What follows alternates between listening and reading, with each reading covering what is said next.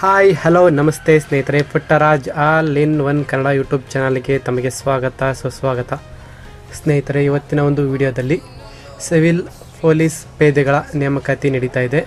ಈ ಒಂದು ನೇಮಕಾತಿ ಅಧಿಸೂಚನೆಯ ಸಂಪೂರ್ಣ ಮಾಹಿತಿಯನ್ನು ಇವತ್ತಿನ ಒಂದು ವಿಡಿಯೋದಲ್ಲಿ ತಿಳಿಸಿ ಕೊಡ್ತಾ ಇದ್ದೀನಿ ಸ್ನೇಹಿತರೆ. ಕಾನ್ಸ್ಟೇಬಲ್ಗೆ ಟ್ರೈ ಮಾಡ್ತಾ ಇದ್ದೀರಾ ಅಂತ ಅಂದರೆ, ಈ ಒಂದು ವಿಡಿಯೋವನ್ನು ಸಂಪೂರ್ಣವಾಗಿ ನೋಡಿ, ನಿಮಗೆ ಸಂಪೂರ್ಣ ಮಾಹಿತಿ ಈ ಒಂದು ವಿಡಿಯೋದಲ್ಲಿ ತಿಳಿಯುತ್ತೆ. ಬನ್ನಿ, ಇವತ್ತಿನ ಒಂದು ವಿಡಿಯೋ ಶುರು ಮಾಡೋಣ.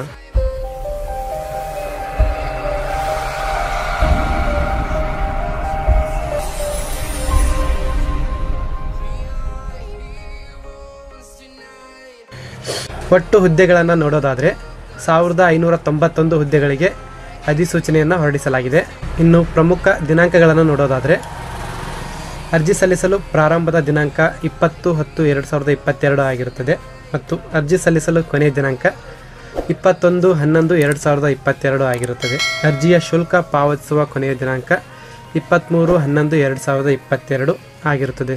ಇನ್ನು ವಿದ್ಯಾರ್ಹತೆಯನ್ನು ನೋಡೋದಾದರೆ ಸ್ನೇಹಿತರೆ ಪಿ ಯು ಸಿ ಅಥವಾ ತತ್ಸಮಾನ ವಿದ್ಯಾರ್ಹತೆಯನ್ನು ಹೊಂದಿರಬೇಕಾಗಿರುತ್ತದೆ. ಇನ್ನು ಹುದ್ದೆಗಳ ವಿಂಗಡಣೆ ನೋಡೋದಾದರೆ ಪೊಲೀಸ್ ಕಾನ್ಸ್ಟೇಬಲ್ ಪುರುಷ ಆರುನೂರ ಎಂಬತ್ತ್ಮೂರು ಹುದ್ದೆಗಳು, ಸಿವಿಲ್ ಮಹಿಳಾ ಇನ್ನೂರ ಇಪ್ಪತ್ತೊಂಬತ್ತು ಹುದ್ದೆಗಳು, ಸಿವಿಲ್ ತೃತೀಯ ಲಿಂಗಿ ಪುರುಷ ಇಪ್ಪತ್ತೆರಡು ಹುದ್ದೆಗಳು, ಸಿವಿಲ್ ತೃತೀಯ ಲಿಂಗಿ ಮಹಿಳಾ ಹತ್ತು ಹುದ್ದೆಗಳು, ಹಾಗೆ ಸೇವಾನಿರತ ಪೊಲೀಸ್ ಕಾನ್ಸ್ಟೇಬಲ್ ಸಿವಿಲ್ ಕಾನ್ಸ್ಟೇಬಲ್ ಪುರುಷ ನೂರ ಮೂವತ್ನಾಲ್ಕು ಹುದ್ದೆಗಳು, ಸಿವಿಲ್ ಕಾನ್ಸ್ಟೇಬಲ್ ಮಹಿಳಾ ಐವತ್ತೇಳು ಹುದ್ದೆಗಳು, ಸಿವಿಲ್ ಕಾನ್ಸ್ಟೇಬಲ್ ತೃತೀಯ ಲಿಂಗಿ ಪುರುಷ ಒಂದು ಹುದ್ದೆ, ಸಿವಿಲ್ ಕಾನ್ಸ್ಟೇಬಲ್ ತೃತೀಯ ಲಿಂಗಿ ಮಹಿಳಾ ಒಂದು ಹುದ್ದೆ.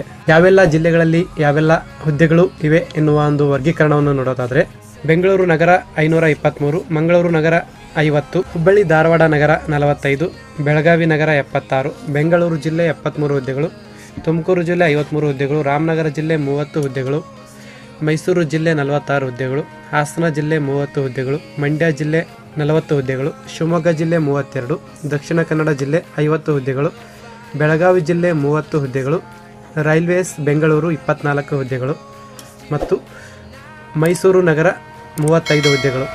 ಇನ್ನು ಕಲ್ಯಾಣ ಕರ್ನಾಟಕ ಅಭ್ಯರ್ಥಿಗಳಿಗೆ ಮೀಸಲು ಹುದ್ದೆಗಳನ್ನು ನೋಡೋದಾದರೆ, ಬೆಂಗಳೂರು ನಗರ ಎಪ್ಪತ್ತು ಹುದ್ದೆಗಳು, ಕಲಬುರಗಿ ನಗರ ಇಪ್ಪತ್ತು ಹುದ್ದೆಗಳು, ಕಲಬುರಗಿ ಜಿಲ್ಲೆ ಇಪ್ಪತ್ತೊಂಬತ್ತು ಹುದ್ದೆಗಳು ಬೀದರ್ ಜಿಲ್ಲೆ ಎಪ್ಪತ್ತೊಂಬತ್ತು ಹುದ್ದೆಗಳು, ಬಳ್ಳಾರಿ ಜಿಲ್ಲೆ ಎಂಬತ್ತೊಂಬತ್ತು ಹುದ್ದೆಗಳು, ರಾಯಚೂರು ಜಿಲ್ಲೆ ಅರವತ್ತೈದು ಹುದ್ದೆಗಳು, ಕೊಪ್ಪಳ ಜಿಲ್ಲೆ ಮೂವತ್ತೆಂಟು ಹುದ್ದೆಗಳು.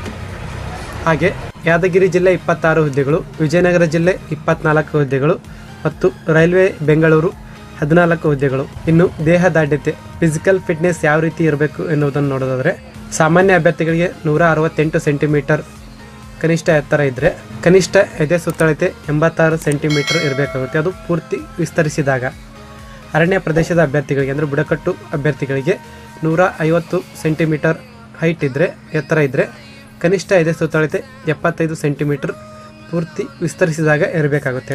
ಇನ್ನು ದೈಹಿಕ ಸಹಿಷ್ಣುತೆ ಪರೀಕ್ಷೆ ಯಾವ ರೀತಿ ಮಾಡ್ತಾರೆ ಅನ್ನೋದನ್ನು ನೋಡೋದಾದರೆ, ಒಂದು ಪಾಯಿಂಟ್ ಆರುನೂರು ಮೀಟರ್ ಆರು ನಿಮಿಷ ಮೂವತ್ತು ಸೆಕೆಂಡ್ಗಳಲ್ಲಿ ಪೂರ್ಣಗೊಳಿಸಬೇಕಾಗಿರುತ್ತೆ. ಒಂದು ಪಾಯಿಂಟ್ ಇಪ್ಪತ್ತು ಮೀಟರ್ಗೆ ಕಡಿಮೆ ಇಲ್ಲದಂತೆ ಎತ್ತರ ಜಿಗಿತ ಅಥವಾ ಉದ್ದ ಜಿಗಿತ ಮೂರು ಪಾಯಿಂಟ್ ಎಂಬತ್ತು ಮೀಟರ್ಗೆ ಕಡಿಮೆ ಇಲ್ಲದಂತೆ. ಗುಂಡು ಎಸೆತ ಏಳು ಪಾಯಿಂಟ್ ಆರು ಕೆ ಜಿ ಇದನ್ನು ಐದು ಪಾಯಿಂಟ್ ಅರವತ್ತು ಸೆಂಟಿಮೀಟರ್ ದೂರಕ್ಕೆ ಎಸೆಯಬೇಕಾಗಿರುತ್ತೆ. ಇನ್ನು ಈ ಒಂದು ಹುದ್ದೆಗಳಿಗೆ ವಯೋಮಿತಿಯನ್ನು ನೋಡೋದಾದರೆ ಅರ್ಜಿ ಸಲ್ಲಿಸಲು ಕೊನೆಯ ದಿನಾಂಕಕ್ಕೆ ಅನ್ವಯಿಸುವಂತೆ ಕನಿಷ್ಠ ಹತ್ತೊಂಬತ್ತು ವರ್ಷ ತುಂಬಿರಬೇಕಾಗುತ್ತೆ. ವಯೋಮಿತಿಯಲ್ಲಿ ಸಾಮಾನ್ಯ ಮಹಿಳಾ ಅಭ್ಯರ್ಥಿಗಳು ಇಪ್ಪತ್ತೈದು ವರ್ಷ ಪರಿಶಿಷ್ಟ ಜಾತಿ ಮತ್ತು ಹಿಂದುಳಿದ ವರ್ಗದವರಿಗೆ ಇಪ್ಪತ್ತೇಳು ವರ್ಷ ನಿಗದಿಪಡಿಸಲಾಗಿದೆ. ಕರ್ನಾಟಕ ಅರಣ್ಯ ಬುಡಕಟ್ಟು ಪ್ರದೇಶದ ಅಭ್ಯರ್ಥಿಗಳಿಗೆ ಗರಿಷ್ಠ ಮೂವತ್ತು ವರ್ಷ ಹಾಗೂ ಮಾಜಿ ಸೈನಿಕ ಸೇವಾನಿರತ ಅಭ್ಯರ್ಥಿಗಳಿಗೆ ನಿಯಮದನ್ವಯ ವಿನಾಯಿತಿ ಅನ್ವಯವಾಗುತ್ತದೆ.